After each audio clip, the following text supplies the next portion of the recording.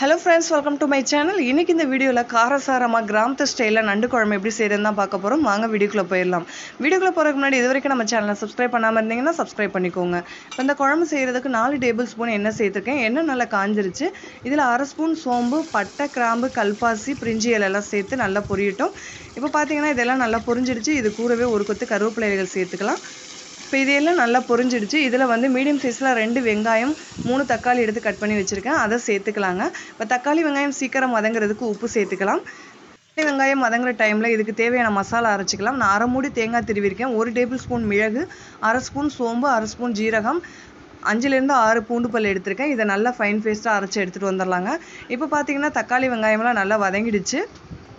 இது கூடவே நம்ம க்ளீன் பண்ணி வச்சுருக்க நண்டையும் சேர்த்துட்டேன். இப்போ நண்டு சேர்த்து ஒரு ரெண்டு நிமிஷம் வரைக்கும் இந்த தக்காளி வெங்காயத்தோடய வேகட்டுங்க.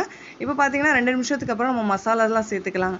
ஒரு ஸ்பூன் மஞ்சள் தூள் ரெண்டு ஸ்பூன் மிளகாய் தூள் ஒரு ஸ்பூன் மல்லித்தூள் சேர்த்துக்கலாம். நம்மளுக்கு வந்து இந்த நண்டு குழம்புக்கு மிளகோட காரம் தான் அதிகமாக இருக்கணும். அதனால் வந்து மிளகாய் தூள்லாம் கொஞ்சம் கம்மியாகவே சேர்த்துக்கோங்க.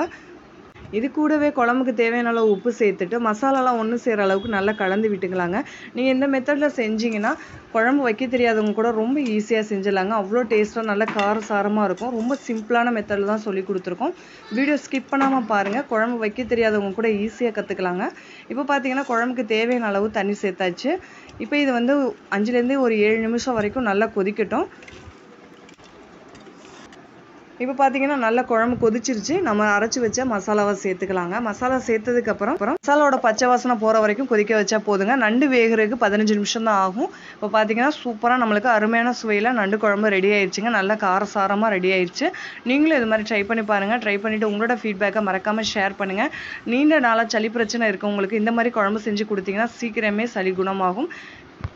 இது வரைக்கும் நம்ம சேனலை சப்ஸ்கிரைப் பண்ணாமல் பார்த்துட்டு இருக்கீங்கன்னா ப்ளீஸ் சப்ஸ்கிரைப் பண்ணிக்கோங்க. கூடவே பெல்லைக்கான கிளிக் பண்ணி ஆல் அப்படிங்கிற பட்டனை செட் பண்ணிக்கோங்க. அப்போ தான் நம்ம போடுற ஒவ்வொரு வீடியோ உங்களுக்கு நோட்டிஃபிகேஷனாக வந்து சேரும். தேங்க்யூ